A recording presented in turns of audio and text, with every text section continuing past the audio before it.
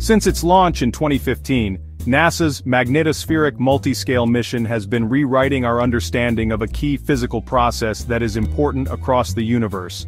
From black holes to the sun, to Earth's protective magnetic field, NASA's Magnetospheric Multiscale Mission also called MMMS just turned 10. MMS studies magnetic reconnection, when magnetic fields tangle and explosively realign, releasing immense energy. Imagine the entire US power usage released in hours. MMS uses four spacecraft in precise formations breaking Guinness records at 116,300 miles above Earth and the tightest satellite cluster. Over 1,500 scientific papers later we've got game-changing insights into space weather and fusion energy. Plus it's launched the careers of nearly 50 PhDs. With three more years to investigate the night side of Earth, MMS is far from done.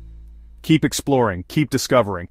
Follow for more space wonders. NASA's MMS is just getting started.